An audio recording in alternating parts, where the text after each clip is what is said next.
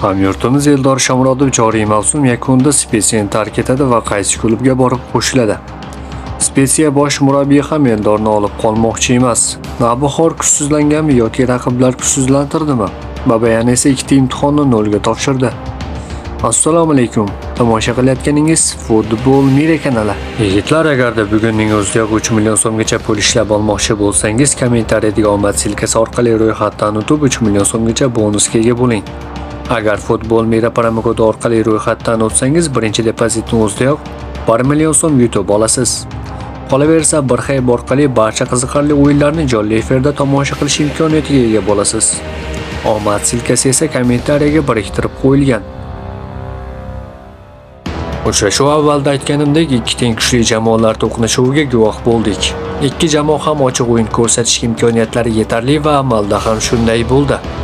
Birinchi bo'limda vaziyatlar keskinligi darajasini olganda ustunlik Nabuxorda ekanligi va gol urishun yaqin kelganligini aytish mumkin.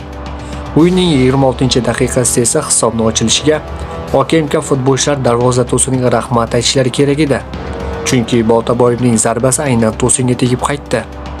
Maydonda ko'rinmas ishni bajaradigan lochinlarning yashirin quroli ko'p hollarda zarba pozitsiyasiga chiqib baribir gol urishga harakat qildi. Ammo bu safar gol ura olmadi. 35-daqiqaga kelib yana Boltaboyev zarba qildi.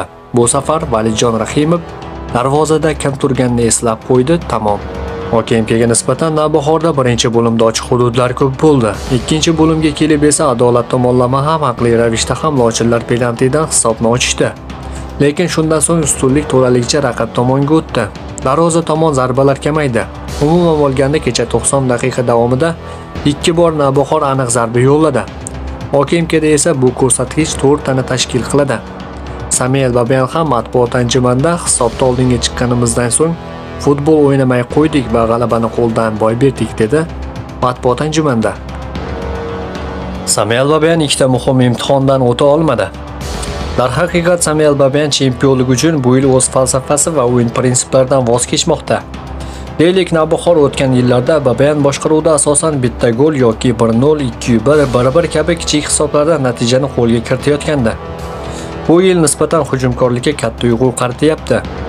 Oldingi chiziqlardagi vakillar asosan planga chiqmoqda.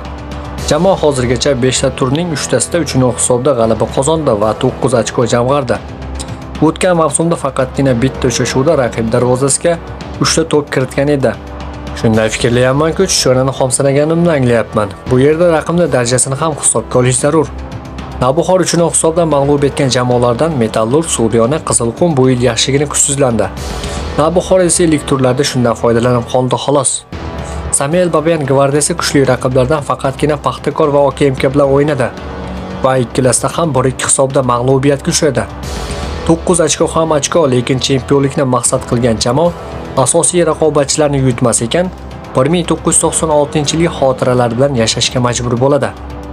Taqqoslaydigan bo'lsak, jamoa o'tgan yili 26 ta turda 3 ta mag'lubiyatga uchragan.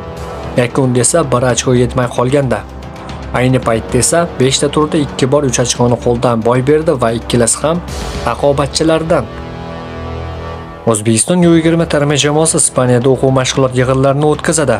Ravshan Haydarov shogirdlar yig'in doirasida Braziliya, Dominikan Respublikasi va Gibraltar terma jamoalariga qarshi o'rtoqlik uchrashuvlarida ishtirok etadi. 22 aprel kuni O'zbekiston Braziliya, 25 aprel kuni O'zbekiston Dominikan Respublikasi, 27 aprel kuni esa O'zbekiston Gibraltar terma jamoalari o'rtasida o'rtoqlik, ya'ni nazorat bahslari o'tkaziladi. Ushbu bahslarni esa albatta YouTube kanalimiz orqali jonli efirda namoyish etishga harakat qilamiz. Kanalimizga obuna bo'lib, kanalimizni kuzatishda davom etsangiz, ushbu uchrashuvlarni jonli efirda tomosha qilish imkoniyatiga ega bo'lasiz. Eldor Shomurodov joriy mavsumni yakunlab Spesiyani tark etadi va Roma klubiga qaytadi. Spesiya keyingi mavsum uchun Eldorni olib qolmoqchi emas. Ma'lumot uchun Eldor Spesiyaga mavsum oxirigacha ijara asosida o'tganda. Roma klubi ham Eldor uchun yaxshiroq taklif tushsa ijaraga yoki sotib yuborishga ham tayyor ekanligini bildirgan. Agar Eldor qolgan turlarda o'zini ko'rsata olsa, yaxshi klublardan takliflar bo'lishi ham mumkin.